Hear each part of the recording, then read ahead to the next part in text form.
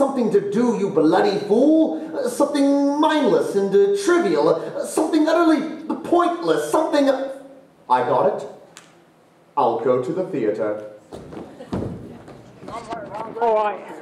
Mr. Aaron, we're going into Act Two. Right now, we're in intermission. How are you feeling? I'm really freaking tired. I know you're freaking tired. You look freaking tired, but you you look fabulous. I sweated off all my makeup. It's gonna be alright. That's all right. How are you feeling? You feel good. You look good.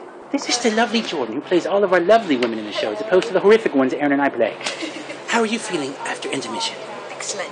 I know your hair's burning. You can't actually smell this because this is video, but it's really quite repellent. It's it's because of the hairspray that's in my It hair is. already. It is. It's quite lovely though. Chris was being nice and telling me that I wasn't lying to you. so- How are you feeling after doing intermission?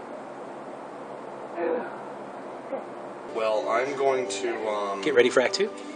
um, I was going to say drink copiously, but you know, Copiously both drinking the is same. good. Copi- both Do you have the same. scotch or just water?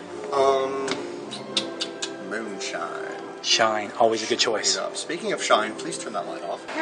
I'm squishing your head. Towards the- I'm squishing your head. towards the- I squish your head. On the. No!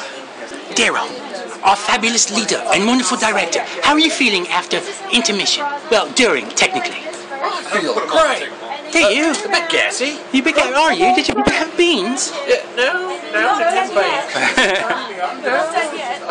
a well, that's technically intermission, halfway through. I'm not appearing in this film. Ooh, extreme close-up. How? You should do your creepy face. I hate it. Creepy face? Oh, that is, oh my god. Oh my god. Wow. That is creepy. It is. He doesn't. The 39 steps, Mr. Hannay. You will never